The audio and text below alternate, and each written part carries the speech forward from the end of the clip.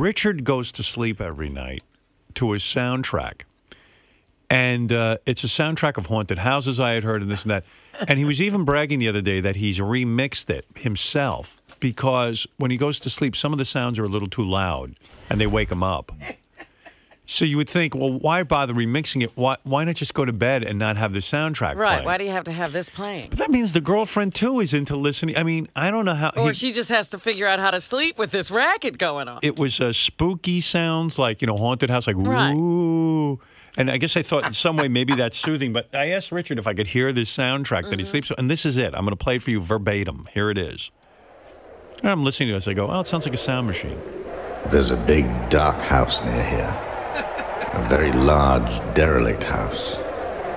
it's a story it's like a bedtime oh, story Oh, he's read such to a baby. it's crazy yeah Sal told me as you're playing it, Richard is sitting in there mouthing it verbatim. He could probably do it without you playing it. you know that game where you know have to know the next line Right. you got to know every line of it if you listen to it every night right Yeah, pretty much. as i play this i'm going to stop it i want you to give me the next line Okay. richard's This falling one. asleep it must really work This is my favorite part. If you walk through Witch's Wood, what If you walk through Witch's Wood, past the hanging tree, down Dead Man's Lane, you'll come to a wooden footbridge. past the hanging tree, then down Dead Man's Lane, over the wooden footbridge past Creepy Hollow, you got it you will come to an ancient close. graveyard.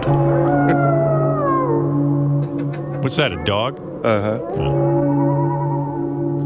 For here is a place of twilight, a place occupied, they say, By by half beings. By what? Half beings. Half beings.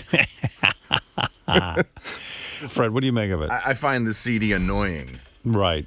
And what about you, Robin? I think it's ridiculous. Right. This is that clip where I mixed Robin in with all the witches and stuff. Oh, yeah. Yeah.